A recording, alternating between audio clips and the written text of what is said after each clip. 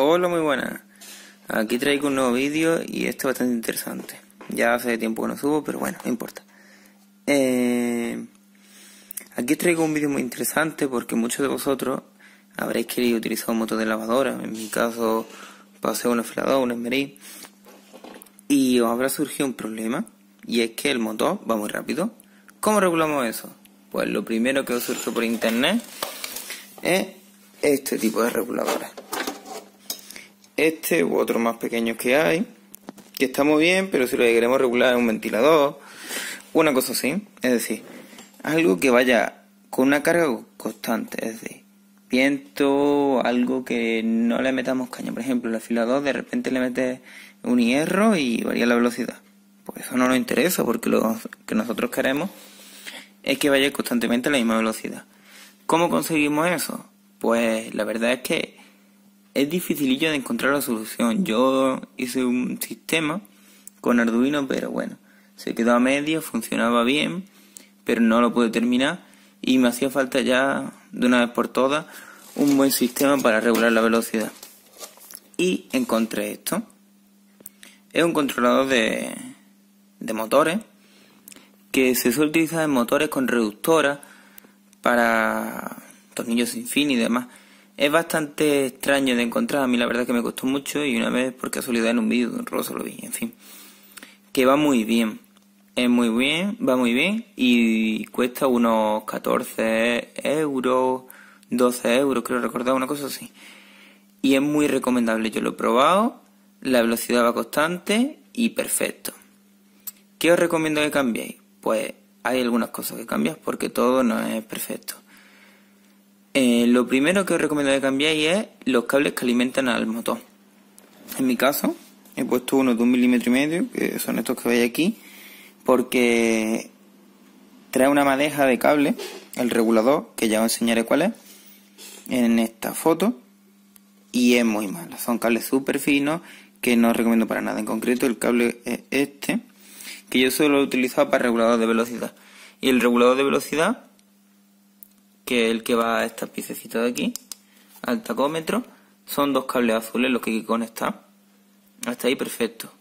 ¿Cómo se conectan los otros cables? Pues bueno, si, no, si decidís no utilizar otro cable, pues lo podéis conectar con el rojo y el verde que trae y se conectan uno a la escobilla, por ejemplo, aquí yo he utilizado este, pues imaginaros que este es el rojo, iría uno a la escobilla y el otro a uno de los cables que sale del motor de la bobina. Y ahora el otro cable que sale del motor, en este caso este, se puentea con el de la otra escobilla. Ya está solo eso. Bueno, pues la primera mejora que os recomiendo, porque como veréis los cables son súper finos, es que añadéis el cable que he dicho, un cable de un milímetro y medio. ¿Dónde lo añadimos? Bueno, pues esta es la caja de conexión, ¿no? Pues se añaden aquí. Lo añadiríamos uno al primer a la primera tuerquecilla y el de abajo iría conectado con con una de la, con uno de los cables que va a la alimentación, a la alimentación de la red. En concreto, estos dos cables van al enchufe de red eléctrica y ya está.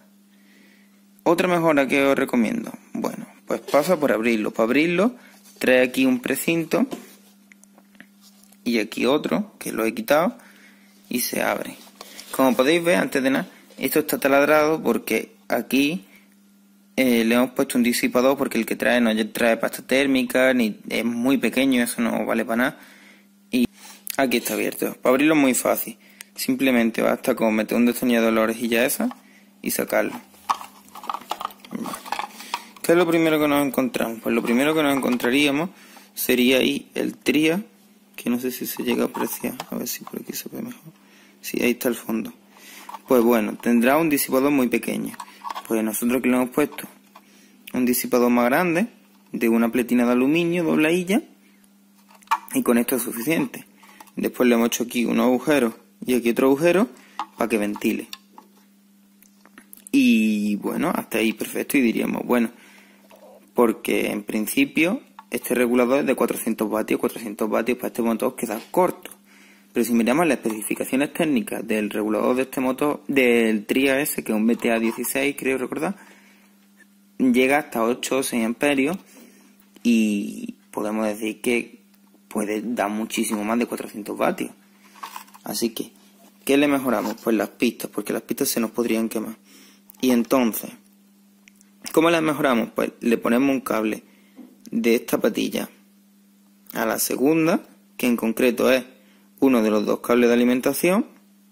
Uno de los dos cables no, el que está más hacia la izquierda. Y la otra, que sería la patilla del centro, al primero de la bornera, que en concreto corresponde a una de las salidas hacia el motor. Y con esto ya habríamos solucionado el problema de requerir más alimentación de la que la pista pueda, porque se podría quemar la pista, aunque el trial sí pueda llegar a esa potencia. Y con eso es la mejora que le podemos hacer para que nuestro regulador entregue mucho más de 400 vatios. Puede dar incluso 3-4 amperios y llegar a los 700 vatios, que es lo que puede llegar a este motor, que es cerca de un caballo. Y bueno, aquí lo voy a ver en funcionamiento. ¿Cómo se pone en marcha? Pues muy sencillo. Para ponerlo en marcha, basta con conectarlo a la red eléctrica, pulsar on, darle velocidad y como podéis ver, ya está girando. Vais a ver que está a una velocidad súper despacio, está como, yo que sé, a menos de 30 revoluciones por minuto. Y le aprieta con la banda esta, esté haciéndole bastante fuerza y no es capaz de pararse él autorregula la potencia para que no para que no se pare suelto y se mantiene a la misma velocidad bueno hasta aquí perfecto ¿no? vamos a darle más velocidad yo he calculado la velocidad que para que gire unas 3000 revoluciones lo tengo que poner en el 7,5 aproximadamente ¿por qué? porque aquí trae un potenciómetro que sirve para regular la potencia máxima que puede entregar y bueno, para no que tampoco le faltara ni se quedara largo, pues bueno, lo vamos a poner al 7 y medio, son aproximadamente 3.000 revoluciones. Y aquí lo veis en marcha. Funciona perfectamente. Y vamos a hacer una prueba de, de ponerle resistencia. Para, todo aquel que tiene un motor de estos sabe que cuando le hacemos resistencia tiende a bajar las revoluciones.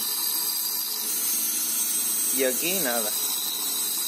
Se mantienen constantes. Así que hoy es un sencillo vídeo y una sencilla forma de, de regular la velocidad para que se mantenga constante. Y nada más, os dejo un enlace en la descripción que si no queréis comprar este, compra otro. Pero que para que os sirva de guía de donde lo tenéis que comprar en concreto este Aliexpress. Un saludo y nos vemos. Dale like y suscribir.